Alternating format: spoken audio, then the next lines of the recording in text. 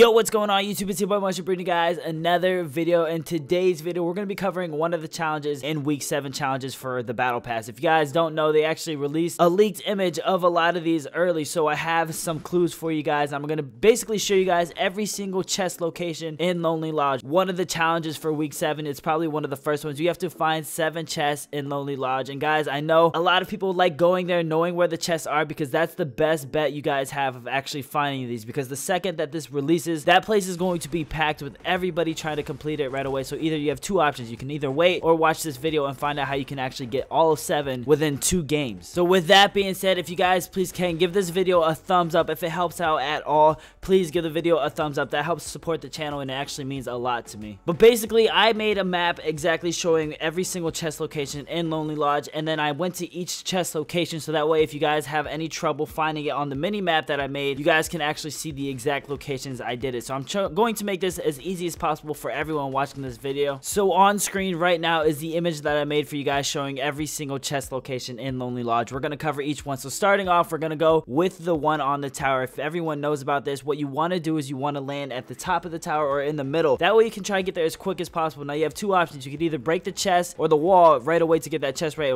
right there. Or you can go to the very top and try and open that chest and then break down exactly how you guys see me do right now in the background playing right here. But keep in mind that if you do break the, the floorboard underneath you, the second you get to that second chest below you, if you're trying to break that floorboard, get ready because it's a huge drop all the way to your death. So make sure that you do exactly what I do and put a floor platform before you hit the ground. And then after that, there's actually another one just right here, just to the left of it on the minimap. It shows exactly where this one is located. So that way you can actually knock out three chests right away. Another good spot to actually land is at the house at the top of the minimap, as you guys can see on screen right now. There's actually three chests located there and a vending machine, surprisingly. So basically, once you land there, there's a chest at the top. There's basically two chests at the top roof. If you guys are watching the gameplay in the background right now, I'm breaking one of the walls in the bedroom, and then once you break that wall, there's a chest in there. After that, you just turn around.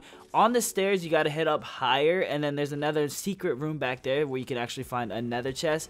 Um, that's two chest locations, and then if you look down and destroy that, there's actually a vending machine right there. After you get those, there's another chest. Uh, it's kind of like on the second balcony, but you guys can get it from the first floor. If you guys are watching the gameplay in the background, it shows exactly how you can get to it. And that's actually an easy way to get three chests as quick as you can. If you're looking at the minimap and you head just to the right of that, there's going to be a little small house on top of the hill, guys. All you have to do is break the roof, but be careful. Don't be underneath it and break the roof. Just actually get above it and then break the roof, and you can actually find a chest located in there. Now on the mini-map, you guys see another two chest locations. This is probably one of the third best landing spots you can actually land at. If you land on top of that little mountain right there, you can actually see that there's a chest right there. And then right after that, you have to push to the left a little bit up and it's going to be down on the floor. There's a little cave area right there, exactly where you're watching in the gameplay right there. There's another chest that usually can be located there. But there you guys have it. That is all chest locations in Lonely Lodge. If you guys want, please give this video a thumbs up. It actually took me some time to actually make this video because I wanted to make it